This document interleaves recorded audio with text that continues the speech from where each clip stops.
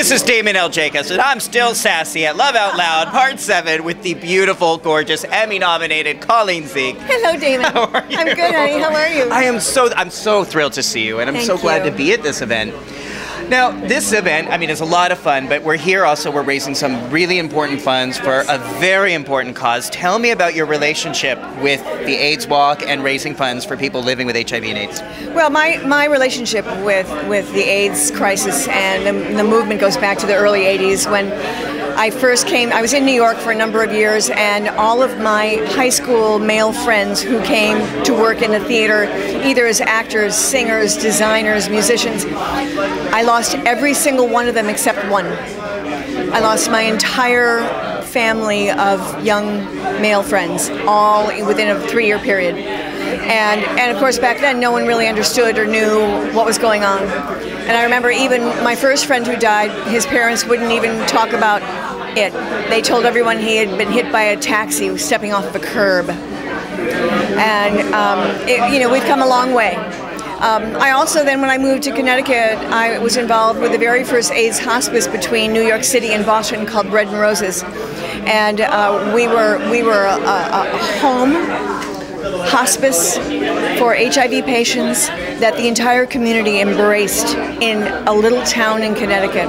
And I sat on the board of directors there for over 10 years. And there was so much fear at that time. There People was. feared that if you touch somebody, if you hug somebody with AIDS, that you get it. I mean, even my, my mother, who, who was actually an ER nurse back, back in the early days, it kind of drove her out of the ER because there was so much fear. There was so much fear. Nobody understood. How were you able to get over that fear and still be available and do all this wonderful work in the Well, early days? Well, I didn't. I, I, I mean, my fear in the early days had more to do with, with hugging and kissing and embracing my friends, and I, I did not work as my mother did, working with bodily fluids or, or blood, um, which is a very different thing when you're in the medical profession. I mean, for me, it was um, having to watch my friends go through what they went through and then not have them be here anymore devastating. And you know, and now everyone can, not everyone, but most people who are diagnosed with HIV can live and get through it and live with HIV. And it's we've come a long, long way in We 20 sure years.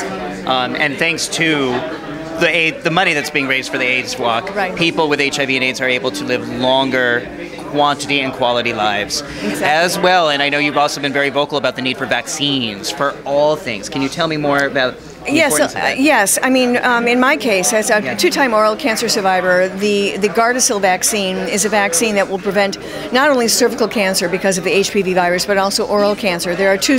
There are, there are hundreds of strains of the HPV virus, and two of them cause cervical cancer, and two of them cause oral cancer. And the Gardasil vaccine will prevent against that. And of course, the FDA came out recommending the vaccine just for young girls in the beginning, and everyone kept saying, "Excuse me, this is sexually transmitted. You can't vaccinate half the population."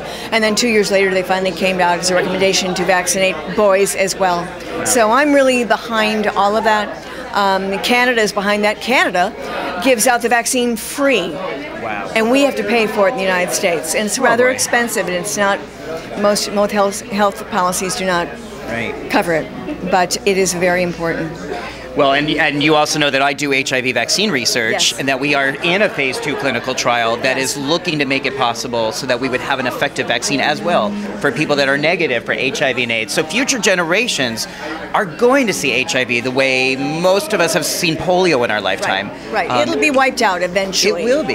It will be. Eradicated. Um, and, and in the meantime, education is so important for people in both prevention and treatment. We now understand that if someone is taking treatment for HIV, that they're like at least 96% less likely to be able to give it to another person with Exactly. it if their viral load is down to zero. And one of the many services that we're raising money for tonight is GMHC, which does provide and help people get Thank access God to that treatment. Thank God for GMHC. I mean, it's thank God. It's wonderful. You know, a lot of times we think as in the gay male community about the impact of AIDS, and we forget that our allies, the women and the people, the straight people we love, have been impacted and survived this as well. All of us have. All of us have been impacted in one way or another, and I, I think I think the gay community feels it much more deeply. But all of us are affected. Yes. Well, and you are kind of an honorary gay man. Let's face it. I thank you. you are. I'll take that. we have to take that. I love that. now. I'm wearing my suit. on. Looking forward. Yeah. I am so excited because I love. Well, I love seeing you in person, but I also love seeing you perform live. I love your one-woman show. Thank I love that you just you always light up. I mean, you lit up on Barbara Ryan on As the World Turns, but you also light up the stage. Thank you. And it's just in a way that that if anyone hasn't seen it, they can't explain. But you just radiate when you're on stage. So give me some good news. Okay, the good news is I will be opening on June 19th, the 20th, and the 21st at the Cap 21 Theater in Still. Yes, I am still sassy. And um, I will be there for three nights as a part of their um, benefits series for the summer for the Cap 21 Theater. Um, all proceeds from the ticket sales, anything that, that you buy that night, there will be liquor. Um, uh, you heard that. Um, will be towards their scholarship fund for their conservatory and also for their, their theater company. So, those of us who are performing this summer, Karen Mason will be there for a week, I'm there for a week uh, Deborah Barsha, Megan Duffy, and I can't remember who else is coming.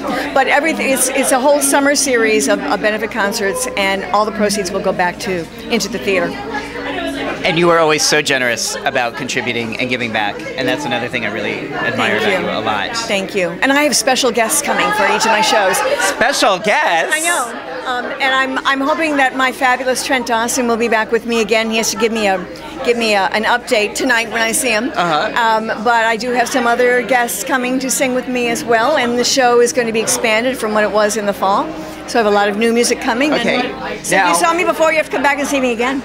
Is it possible that any of these special guests are people that I may have seen on my television screen at some point I possibly yes. on daytime television? or elsewhere. Yes. Okay, just checking. I know it gets okay. All right. Well, Colleen, I love speaking with you. Thank, Thank you you, for being Damon. here. Thank you for being part of this event. Always giving back to the community. It's Thank so you. important. It is. You're inspirational all for me. Thank So- you. Thank you.